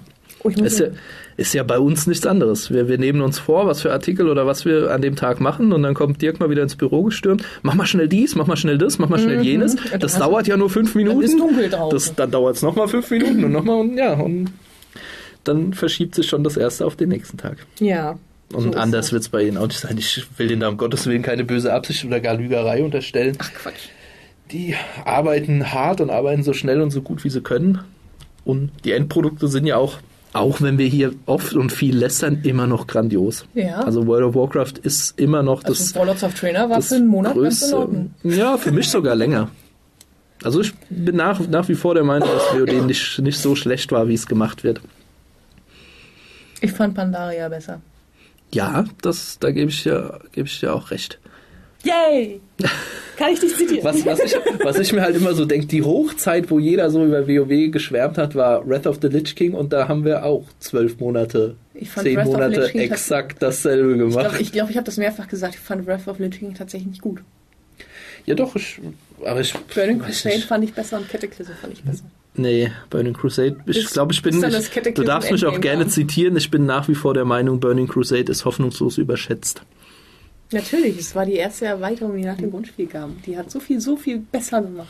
Genau, Heutzutage Schlüsselquests, denkt- heutzutage- Farmen, Ruffarmen, ach nee, das total, ist ja, Das war total großartig. das ist großartig, ne? Außer wenn es in MOP ist, dann ist es doof. Ruffarmen. Da fand ich das. Nee, das ist ja der Unterschied. Du hast ja auf ein Ziel hingearbeitet und da hast du nur auf nichts hingearbeitet. Ja. Quasi. Du hast ja irgendwie nur so ein paar Auf Sachen. Mounts und können. Verzauberung. Ja, geil. Wahnsinn. Auf was hast du denn im PC Nein. hingearbeitet beim Ruf? Dass ich in die, Auf Edelsteine, in die man kaufen heroischen durfte. Dungeons durfte. Ja, gut, aber das war, da waren wir ja Und schnell dann, durch. Und Also dann, hast, du die, wir ja dann schnell. hast du die heroischen Dungeons, Dungeons spielen können und dann warst du in Serpentine und äh, in der Festung der Stürme unterwegs und dann hast du da die Questreihe gemacht, damit du dir den Zugang zu Mount Hyjal und dann im Endeffekt zu Black Temple erspielen konntest. Ja, wenn du jetzt sagst, es war grandios und die es Ich- jetzt nochmal fand das- implementieren würden. Ich fand das immer cool. Ich war immer sehr traurig. Ich bin ein Verfechter dieser, dieser, dieses Gating-Mechanismus, dass du erstmal das eine gesehen haben musst, um das andere spielen zu können. Ja, würde ich dir insoweit zustimmen, wenn, wie bei vielen Sachen, das Ganze irgendwie eine Account-Verbindung hat. Das ist richtig. Weil Weil das Ganze einmal- mit einem zehnten Twink irgendwann zu machen, ja. ah, Ein, einmal machen und dann sein. ist es für alle anderen freigeschaltet, da stimme ich dir voll und ganz zu. zum Aber Beispiel auch der Grund, warum sie wahrscheinlich die Artefakt-Quest-Reihen so kurz und knapp gehalten haben, die du ja dann auch mit jedem Charakter drei, viermal machen musst. Ja. Ja. Äh, was soll ich noch sagen? Wo wir. Ah, Artefaktwaffen. Super. Gehen wir noch mal einmal kurz zurück zum Blizzard Ja, Earnings natürlich. Call.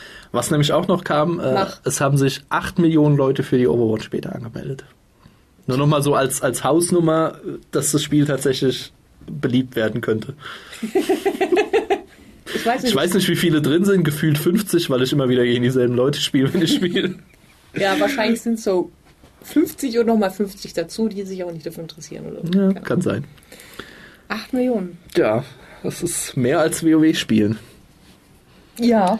Wobei man sagen muss, okay, so, so ein Haken bei ich habe Interesse an der Beta ist natürlich schnell gesetzt. Also Ja, es sind keine 8 Millionen Leute, die dann da sitzen mit einem Geldschein in der Hand und sagen, wenn Overwatch kommt, kaufe ich wenn Overwatch kommt, kaufe ich Aber Bei manchen Ja. Leuten ist das ja sowieso irgendwie Standard. Alle Haken reinzumachen. Dass sie da überall einen Haken reinmachen und dann gucken, ob sie in die Beta reinkommen. Wenn es ihnen gefällt, dann greifen sie vielleicht zu.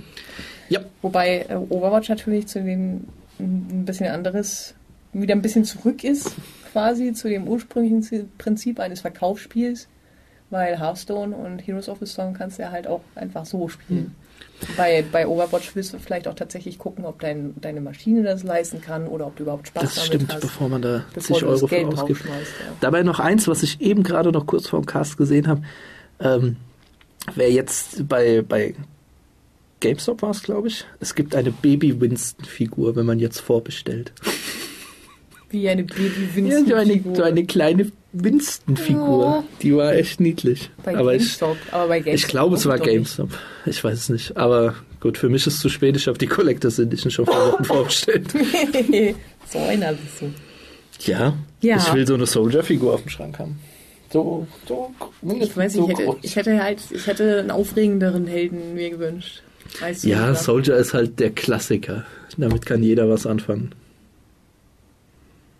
Also ich hätte auch lieber Torbjörn plus Turm. Es wären dann halt zwei Figuren. aber Ja, so schön. Wäre mir auch lieber gewesen, aber bei Soldier ist die, bei Soldier ist, glaube ich, die Gefahr am niedrigsten, dass einer sagt, das ist ein absolut doofer Held, den ich überhaupt nicht mag. Das ist bei jedem anderen Held größer, die Abneigung. Das ist möglich, ja. Aber so ein Reaper oder so hätte auch funktioniert. Könnte auch funktionieren. Äh, man, Kommt muss dann ja, vielleicht für Overwatch 2. man, muss ja, man muss ja mal betonen, dass äh, tatsächlich es mit Overwatch auch was Neues gibt bei den Collectors Editions von Blizzard-Spielen, nämlich dass tatsächlich mal eine Figur drin ist. Mhm. Das muss man positiv erwähnen. Stimmt, das ist nicht üblich bei Blizzard. Nee. Der Soundtrack und so, Artbooks, alles immer dabei. Und Mauspad natürlich. Wie viele Ja. Mauspads habt ihr bitte zu Hause liegen, wo Blizzard draufsteht? Ja, die kann man übereinander liegen. Ja, dann wird- hast du ein bequemer Maus- für die, für die So ein Mauspad-Sandwich. Ja. Kannst du Salami zwischenlegen? Man, man, nee, die Salamischeiben liegen im CD-Player. Man muss eine teure Maus ja gut behandeln. Ja. Die, die Maus auf der Erbse. Das ist richtig. So, wo waren wir bei World of Warcraft und Artefaktwaffen? Ich frage dich vorher kurz noch, nicht, ob ich dich zitieren kann oder ob du noch irgendwas sagen wolltest zum Earnings Call. Nein, ich, sonst Gut. wüsste ich jetzt gerade nichts. Dann erzähle ich jetzt kurz von dem Wächter-Druiden Artefaktwaffen, nämlich Ursols Clown, Ursox Clown, nicht Ursol. Äh, das habe ich nämlich letzte Woche gespielt und ich dachte, ich erzähle ein bisschen kurz. Äh, ihr könnt euch natürlich auch das Video anschauen. Ähm, wie ich glaube ich vorhin schon gesagt hatte, gibt es übrigens auch einen Link zu unserer Berufeübersicht, also zu dem Artikel, was mit Legion bei den Berufen passiert. Und jetzt sind wir bei den Druiden und dem Purzelbären oder den Druiden. Das heißt, ich bin mit einem Bären losgezogen, hatte wieder von Tuten und Blasen keine Ahnung, weil es ungefähr gefühlt äh, zwei Jahre her ist, dass ich Hand an einen Druiden gelegt habe. Also im Spiel. In Wirklichkeit nicht.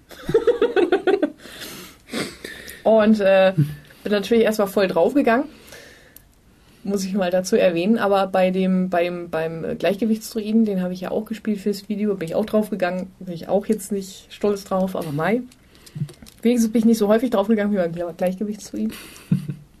äh, müssen wir mal erwähnen. Äh, was ich auch erwähnen wollte, war, dass sich der Traumweg zwischen Realität und smaragdgrünem Traum, dort wo die Ordenshalle der Druiden sich befindet, äh, ein bisschen sich verändert hat. Also sie sieht jetzt irgendwie cooler aus und äh, irgendwie ein bisschen heimeliger, weil du hast dann halt tatsächlich so einen smaragdgrünen Traumbereich, der auch sehr verträumt und äh, cool aussieht. Und dann hast du so rechts diese roten Ranken von dem smaragdgrünen Albtraum. Okay. Und äh, sieht schon ein bisschen cooler aus und die Quest macht auch ein bisschen mehr Sinn oder ist ein bisschen logischer. Man muss nicht mehr 35.000 verschiedene Gegner umhauen und dann halt äh, dieses Portal oder diesen Weg frei zu spielen, sondern nur noch einen großen, der es aber ganz schön in sich hatte, so dass ich erstmal dabei draufgegangen bin natürlich. Das war auf jeden Fall ein bisschen cooler und ich war, war ich tatsächlich ein bisschen enttäuscht, als ich in die Ordenshalle der Druiden wiedergekommen bin und die so aussah wie vorher. Weil es irgendwie nicht so nach Smaragdgrüner Traum oder sowas aussieht, sondern tatsächlich eher so Weichara-mäßig. Nach Wald. Ja, grün. Also so, so ein anderes Grün. Also in diesem, diesem Traumweg ist dieses Grün so dunkel und da ist ein bisschen Gold mit drin und so ein Spaß. Und äh, dann kommst du halt in Tag rein da in diese Ordenshalle und alles ist normal. Das war ein bisschen enttäuschend. Aber übersichtlicher ist es immer noch nicht geworden, oder? Nee. Als ich die, die Heildruiden-Questline gemacht habe für die Artefaktwaffe, habe ich mich so oft verlaufen und dann in der Mitte von, von dem Areal steht und gefühlte 30 Portale um einen rum in alle Richtungen. Mhm. Also durch jedes Portal einmal durch und dann so im Kreis weitergearbeitet, bis man das Richtige getroffen hat. Ich habe ich hab glücklicherweise mit dem Gleichgewichtsdruiden und mit dem Wächterdruiden jedes Mal das Richtige getroffen. Das war sehr gut, fand ich. Aber in der, in der Ordenshalle habe ich erstmal, ähm, da musste ich Lea, ich glaube Steinklaue wird sie dann heißen, oder St- Steinpranke, die heißt Stonepaw, äh, musste ich finden in irgendwie einer Barrow-Den und die einzige Angabe hattest du, dass sie irgendwo im Norden ist. Und ich denke, ja, So wie früher. Weißt du, auf der Karte auch kein Punkt, die Karte grün, wie das in lokalisierten Fassungen von Betas so ist. Da funktioniert das alles noch nicht so richtig. Und ich so, wo finde ich denn jetzt? Und bitte nicht jede einzelne Hütte rein, um zu gucken, ist das eine Barrow-Den? Nein, ist es keine Barrow-Den. Wieder raus. Natürlich bist du dann immer wieder demounted und aufgemountet und demounted und eine Viertelstunde lang da rumgerannt, um das richtige Ding zu finden. Ähm, bin dann halt da runtergerannt und das sah auch sehr viel schicker aus, meiner Meinung nach, als ähm, diese Barrow-Dens, die man kennt aus dem Spiel aktuell. Also es sind ja meistens nur so ein bisschen Höhlen und dann ist da ein Brückchen und dann siehst du da eine Wurzel und sei es braun. Und das sieht auch ein bisschen hübscher aus. Du meinst jetzt die Katakomben, in die man runter muss, oder? Weil die äh, in der, in der Highlight-Questline musste ich runter in Katakomben und dann da in, in, in irgendeiner komischen Geistergestalt rumlaufen. Die gibt es nämlich schon eins zu eins im Spiel. Die sind irgendwo beim Nachtelfen-Startgebiet. Dunkelküste, glaube ich. Gibt es diese Höhle schon eins zu eins genauso. War, ein- war ein großes Déjà-vu, als ich da drin war. Weil da gibt es im Spiel auch mehrere Quests drin. Keine Ahnung, weiß ich nicht. Katakomben. Wenn du Katakomben sagst, weiß ich nicht, was du meinst. Ja, so ein Erdloch, was dass man runter, runterläuft und dann sind da unten so Marmorsäulen. Es gibt eine, die sieht ähnlich aus äh, in Hydra. Wenn du da diese Geschichte mit, ähm, wie heißt der? Fa, Fa, Fa, Falun? Fa nee, Fa, da, da, da, da. Farengi? Was Farengi? ähm, ähm, na, scheiße, wie heißt denn der? Hier in Feuerlande, der Boss vor Ragnaros. Majodomus.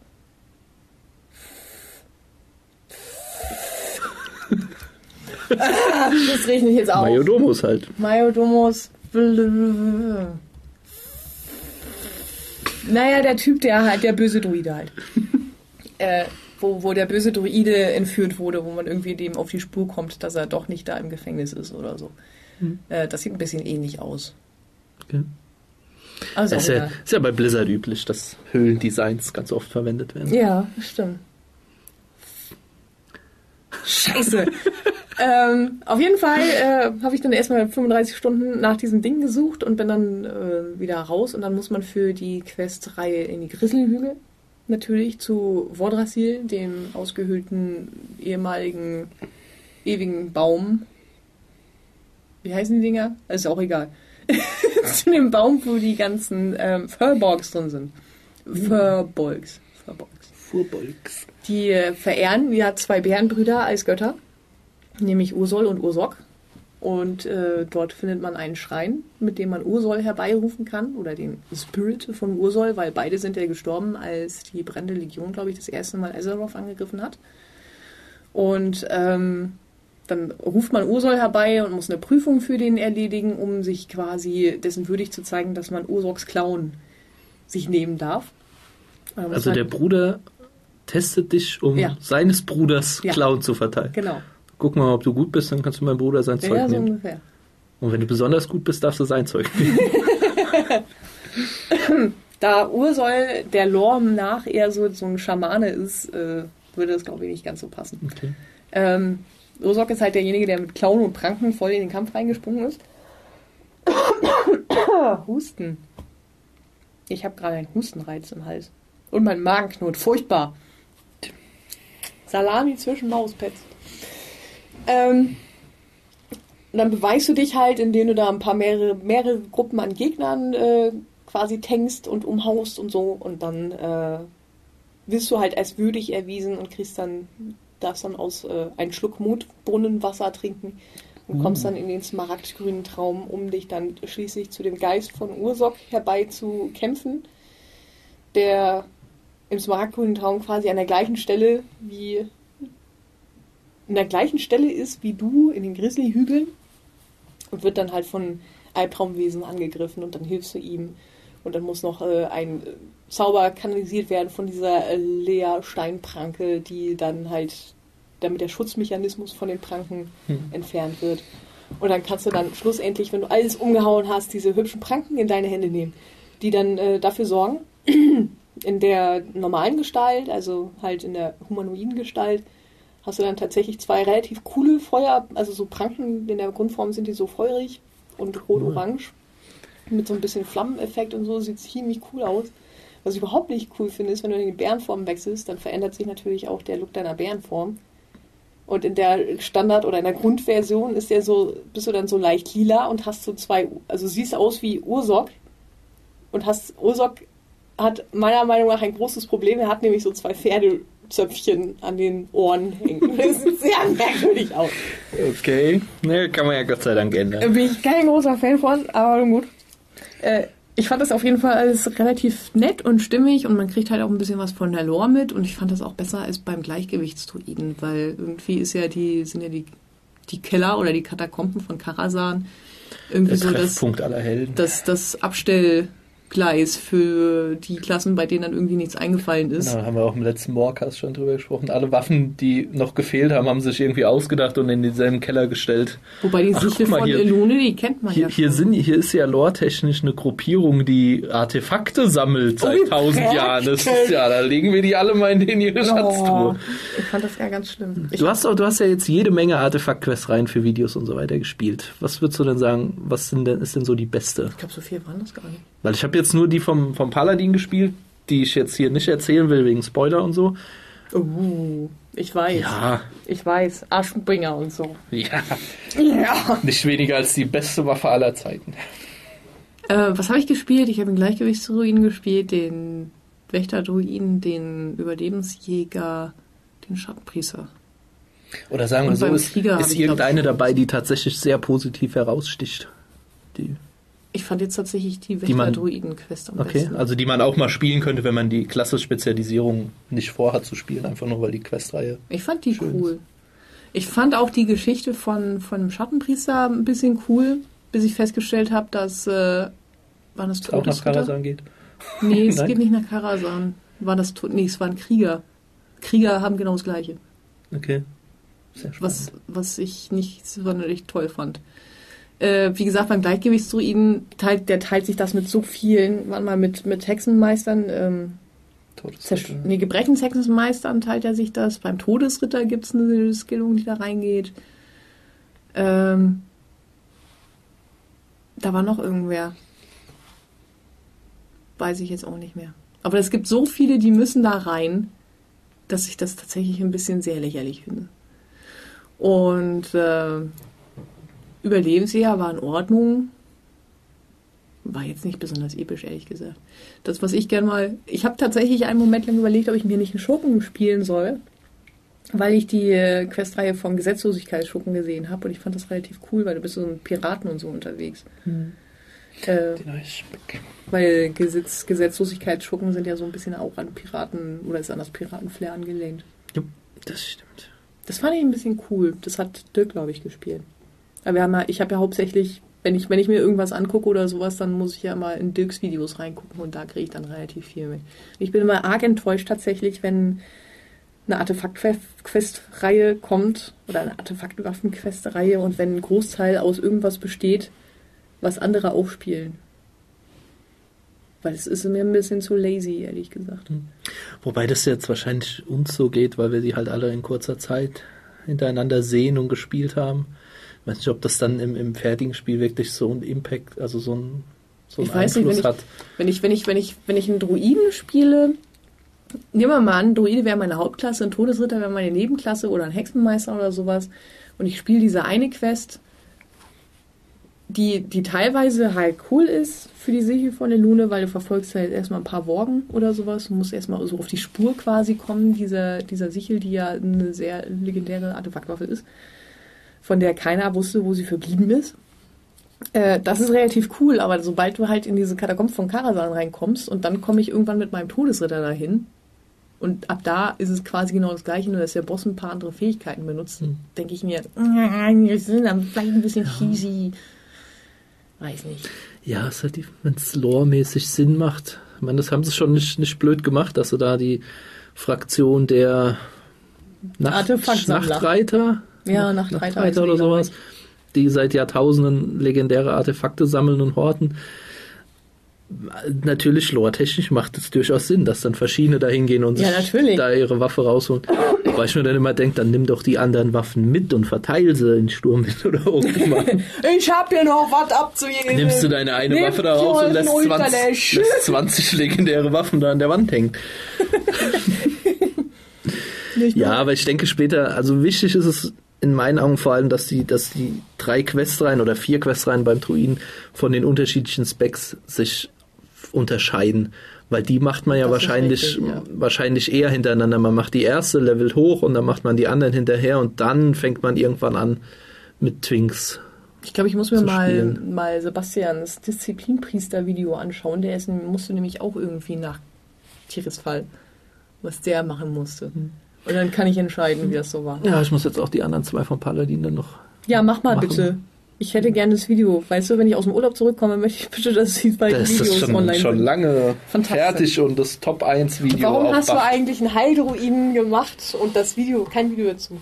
Weil ich das nachts schnell machen musste, weil wir am nächsten Tag die Dungeons spielen mussten für unsere Artikel. Ja. Ja.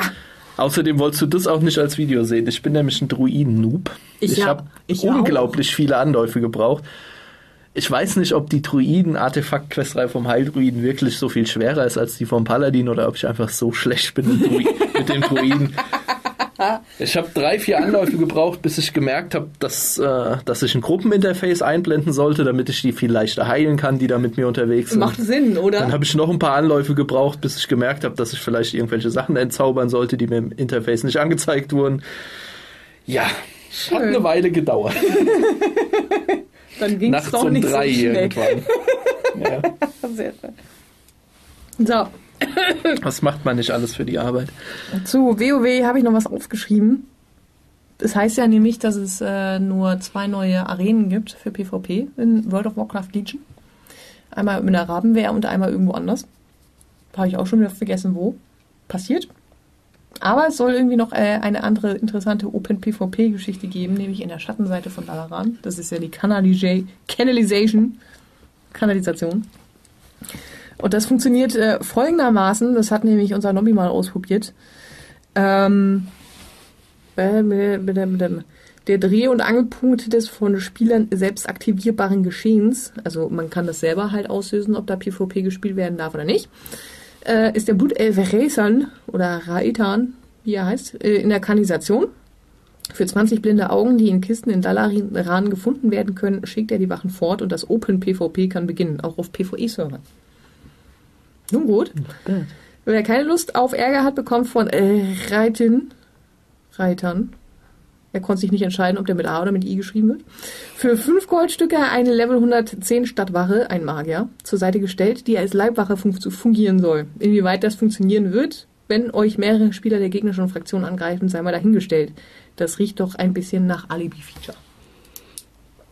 Ja, das war seine Meinung. Ich muss sagen, ich meine, das, das, die Schattenseite von Dalaran, die ist ja in meiner Erinnerung in Wrath of the Lich King zumindest für nichts wichtig gewesen. Außer, dass man die Kanalratte angeln wollte. Außer, dass man ein bisschen durchgelaufen ist und das war's. Ja, oder für die Kochquests musste man, Kochquests, Angelquests, für irgendwelche Daily Quests musste man ab und zu unten irgendwas mhm. einsammeln. Aber ansonsten brauchte man die nicht. Und da finde ich es eigentlich eine ne gute Idee, dass man die zum, zum PvP-Geschmützel macht. Zumal in Dalaran wieder Horde und Allianz auf einem Fleck sind. Ja, da kannst du ein bisschen können, können einfach runtergehen und sich ordentlich unten, gehen. genau, aufs Festbrett gehen. Ich weiß jetzt nicht, warum man sich da eine Stadtwache zur Seite stellen soll. Ich meine, solange das PvP auf unten begrenzt ist, Ach so, Muss ich ja nicht unten, runter. Da unten ist natürlich der Zugang zum Schwarzmarkt-Auktionshaus. Aha, okay. Aha. Das ist zum Beispiel ein Fakt, der mir unbekannt war. Aber ich muss, ich muss tatsächlich zugeben, dass ich in meinem ganzen Leben, glaube ich, fünfmal das Schmark Schwarzmarkt, das Schwarzmarkt-Auktionshaus besucht habe und das war's. Ja, ich habe einen Händler in der Garnison stehen, der mir sagt, was drin ist. Ich auch. Mit ich dann ab und zu hinfliegen kann Und zum und Kaufen muss ich halt trotzdem immer noch. 800.000 Gold bieten kann und dann nachher geht es trotzdem immer für 99.000, 999.000 weg. Irgendwelche tollen Sachen. Ja, sind wir mal gespannt, ob das irgendwie noch mal offiziell erklärt wird oder so, wie das funktioniert oder warum das da ist. Aber auf jeden Fall müsst ihr euch jetzt nicht äh, grämen, dass es kein neu, neues Schlachtfeld oder sowas gibt, sondern guckt einfach mal da rein. Und wenn ihr keinen Bock drauf habt, dann lasst es halt. Ansonsten gibt es ja immer noch dieses äh, hübsche Prestige-Rangsystem, was ihr im normalen PvP durchleddern könnt, quasi. Genau, mit neuen PvP-Talentbäumen und so weiter. Ja.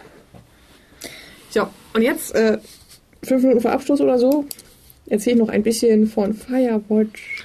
Dein neues Lieblingsspiel. Aktuell zumindest. Äh, ich habe es ja schon fertig gespielt, also es ist auch nicht mehr mein Lieblingsspiel. Es ist ein, ein äh, das ist ja ein Genre, was mir super gefällt. Das sind Walking Simulators. Habt ihr auch schon mehrfach gehört von mir, dass ich da auf sowas stehe. Und ähm, das geht um Folgendes. Ich will jetzt auch nicht zu viel verraten, weil sonst äh, ist ja Story-Spoiler oder so, weil der, der Sinn von Walking Simulators, Simulatoren, ist ja tatsächlich, dass diese Geschichte erzählen wird. oder eine Also vielleicht, dramatische so, vielleicht Geschichte. hast du Walking Simulator mal erklärt in einem der vergangenen Buffcasts. Vielleicht sitzt jetzt jemand draußen, so wie unser Chef. Hä, was? Stimmt. Ein Zu-Fuß-Geh-Simulator, was soll das denn sein? Ein Walking Simulator ist ein Spiel, in dem du äh, einen bestimmten Bereich oder sowas erkundest, in dem du mit einem Charakter einfach durch die Gegend gehst. Meistens ist es äh, First Person. Und dann entdeckst du Sachen. Also es gibt größtenteils keine anderen Charaktere in diesem Ding, sondern äh, du entdeckst Briefe, Fotos, Bücher, Tonbänder, irgendwie sowas. Und darüber wird dir die Geschichte erzählt. Äh, und du wirst dann natürlich von den Entwicklern auch gezielt immer in eine Richtung geschoben, wo du dir denkst, oh, was passiert da jetzt Mysteriöses? Also es, es gibt auch immer so diesen Hauch an Mysteriösen bei den Walking Simulators, wo du dir denkst, äh, oh, was passiert, ist denn jetzt da Dramatisches passiert? Oder so, oh, was ist denn jetzt mit dem da und überhaupt? Also es geht so tatsächlich darum, dass du die ganze Zeit mitfieberst. Und am Ende gibt es dann halt eine befriedigende Auflösung oder nicht ganz so eine befriedigende Auflösung. Das Ganze ist meistens nach zwei oder drei Stunden oder vielleicht mal fünf Stunden oder sowas auch durch. Oder du hast entweder eine gute Zeit gehabt oder hast du nicht und dann sind Walking Simulator Spiele Nichts. nichts für einen, würde ich sagen. Ja, für mich zum Beispiel. Ich finde das total großartig, weil ich gehe einfach gerne durch Spiele durch und guck, guck mir die Landschaft an und guck mir Sachen an. Äh, so bekannte Walking-Simulatoren sind beispielsweise, ich glaube, ich würde tatsächlich dazu gehen, Journey dazu zu zählen. Ähm, wobei das ist, glaube ich, nicht First Person. Äh, Journey auf jeden Fall, Gun Home, The Park, was im vergangenen Jahr erschienen ist, von Funcom, was äh, an Secret World mit anschließt. Dann, äh, wie das vergessen, wie heißen. Firewatch auf jeden Fall. Es gibt viele davon. Das ist letztes Jahr erschienen. Wie heißt denn das? Und ich vergesse immer den Namen und dann fällt mir immer ein, es gab noch ein anderes, was gerade vor kurzem erschienen ist und dessen Namen ich mir auch nicht merken kann. Das ist furchtbar. Ich und mein Gedächtnis. Naja, gut, sind ja jede Menge. Es ist hier Life is Life is Strange ist glaube ich auch einer. Das ist auch in mehreren Episoden erschienen. Ähm, ich bin mir nicht gerade, ob es Vanishing of Ethan Carter, ob das auch eins war. Ähm, auf jeden Fall gab es noch eins mit so einem Dorf, wo alle Leute verschwunden sind und wo man dann herausfinden musste, was da passiert ist. Ich weiß aber gerade tatsächlich nicht, wie es heißt. Ähm, auf jeden Fall es gibt, es gibt dieses Genre und es gibt Leute, die finden es gut. Ich finde das gut und deswegen habe ich mir sofort Firewatch gekauft und musste das natürlich dann auch gleich spielen. Und es geht darum, dass du einen Typen spielst, der in den 80er Jahren im ist das Yellowstone? Ich glaube, es ist Yellowstone. Im Nationalpark auf jeden Fall in Amerika äh, als Lookout anheuert, als jemand, der guckt, also auf so einem Turm sitzt, wie so ein Jägerturm quasi, so ein äh, Aussichts und Aussicht, ein Aussichtsturm der wohnt da drin und hält Ausschau nach Feuern. Und wenn es Feuer gibt, dann meldet er das. Deswegen heißt das Spiel natürlich auch Firewatch. Macht Sinn, nicht wahr? Ist ein bisschen langweilig, ganz da zu sitzen. Aber machst du ja nicht. Du hast erstmal noch einen anderen Charakter. Das ist, also du, dein Charakter. Ich habe keinen Namen, keinen Namen, wie er heißt. Äh, Henry heißt er. Und äh, ein anderer Charakter, der heißt, der heißt Delilah, ist eine Frau. Und die sitzt an, in einem Turm ganz weit weg. Aber du siehst immer diesen Turm und siehst nachts das Licht oder sowas. Und äh, mit der kannst du dich so über ein Walkie-Talkie unterhalten. Okay. Es ist quasi ein Walk-and-Talk-Simulator oder ein Walkie-Talkie-Simulator. Das hört sich jetzt an wie die Eröffnung von einer Akte X-Folge oder sowas. Ja. Und dann ähm, bekommst du so verschiedene Aufgaben. Also du kommst da halt hin, bist der Neuling, musst erstmal gucken. So sagt sie dir, hier geh mal bitte da unten gucken, da passiert jetzt irgendwie Gedöns. Oder komm, hast du das gesehen, da schießt jemand Feuerwerk ab. Und da die Feuerwarnstufe relativ hoch ist, sollte es vielleicht kein offenes Feuer oder sowas in diesem Park haben. Und dann gehst du halt aus seinem Turm runter und schlägst dich halt quasi durch die Wildnis oder folgst den Wegen dort. Und äh, um herauszufinden, was sind das für Leute, die da Feuerwerk abschießen und so. Und äh, das Ganze ist relativ frei begehbar. Also es gibt natürlich irgendwie so Berge oder was, wo du nicht rumkommst. Aber das, der ganze Bereich ist relativ frei begehbar. Das ist auch so ein, nenne ich mal, Feature von, von diesen Walking-Simulatoren, wie beispielsweise bei Gun Home hast du ja auch dieses Haus, wo du jeden Raum und sowas betreten kannst oder immer so einen Schlüssel oder dann irgendwie die Möglichkeit findest, in einen bestimmten Raum reinzukommen. Es gehört halt auch dazu, dass du sehr viel explorst. Also die Umgebung erkundest und Sachen halt findest. Und dann lernst du zwischendrin dann, wie du dich irgendwo abseilst oder findest dann merkwürdige Sachen.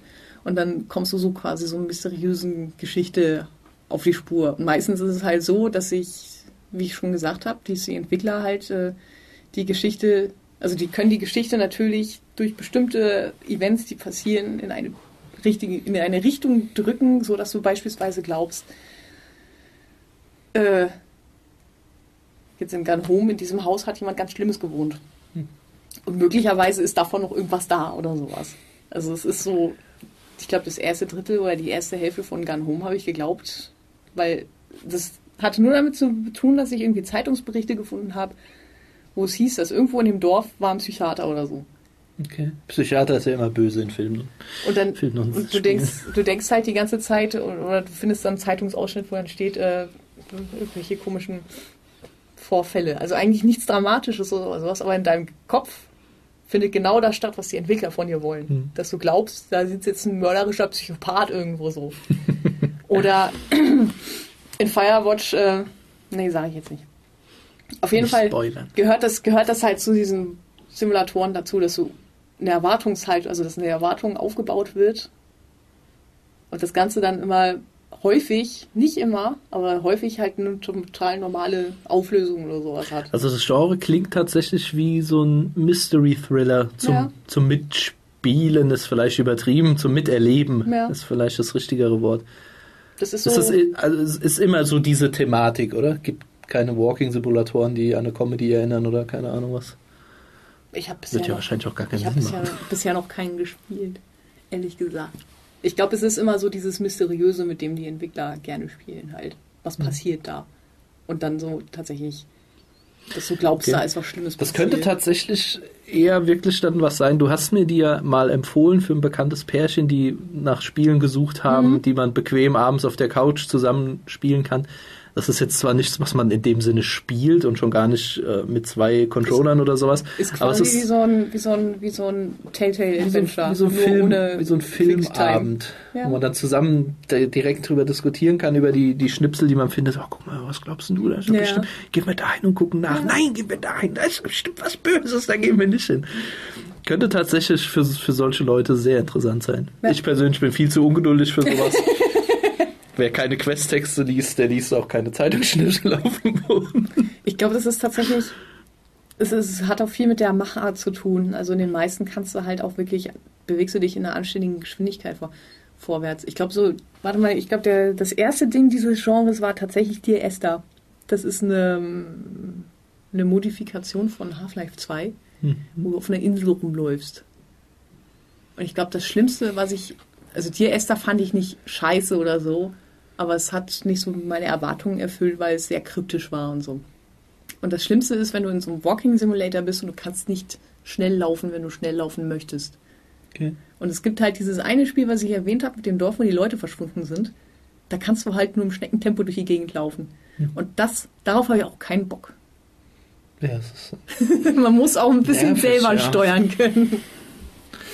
Das ist wahr. Auf jeden Fall, Firewatch lege ich jemand ans Herzen, der beispielsweise sowas äh, wie, wie tatsächlich Gun Home gemacht, gemocht hatte. Wobei ich finde, dass die Story, so wie es sich dann entwickelt, nicht ganz so stark ist wie Gun Home, aber trotzdem immer noch cool und vor allem diesen Park zu erkunden, ist irgendwie geil. Ja, wenn die Entwickler da, das sind so Spiele, die, die leben von der Liebe der Entwickler zum Detail und ja. Wenn da Entwickler dran sitzen, die keinen Bock da auf das Spiel haben, dann merkst du das im fertigen Produkt an jeder Ecke und an jedem Enden. Aber wenn da Leute sitzen, die echt Lust darauf haben, die da Spaß dran haben, solche kleinen Schnipsel zu verstecken, ich glaube, dann sind solche Spiele auch richtig, richtig gut. Ja. Ich bin ja auch schon in World of Warcraft immer so jemand gewesen, der irgendwie an an den unmöglichsten Orten irgendwie rumgekaucht ist, um irgendwie vielleicht irgendwas zu finden oder dann diese Bücher alle irgendwie mal gelesen hat. Und das ist halt so meins. Da stehe ich drauf. Wie gesagt, jeder soll so spielen, wie ja. er es am schönsten findet. Und wer nicht Journey gespielt hat, soll unbedingt mal Journey spielen. So. ich glaube, wir können jetzt äh, Schluss machen. Oh, ist bald 17 Uhr. Und äh,